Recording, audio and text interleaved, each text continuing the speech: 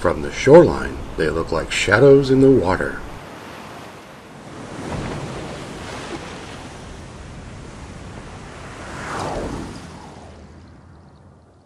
Beneath the waves, we experience the graceful beauty of the sharks of North America.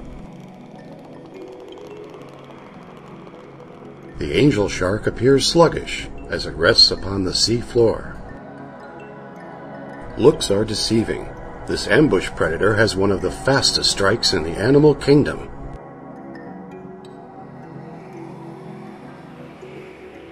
Equipped with a poisonous spine on its back, one of the most fascinating species is the horn shark.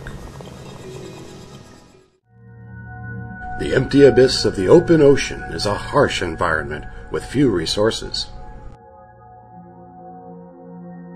Sharks that live here are fine-tuned for survival.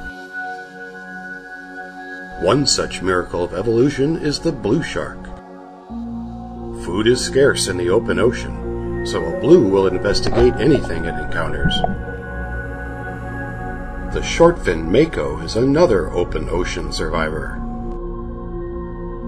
Clocked at over 40 miles per hour, this powerful predator's advanced metabolism keeps it warm even in cold water.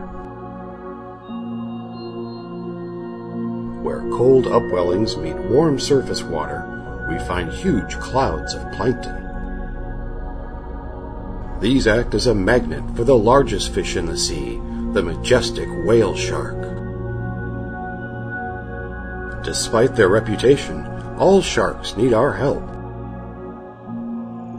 We must work together before it's too late to save these magnificent creatures.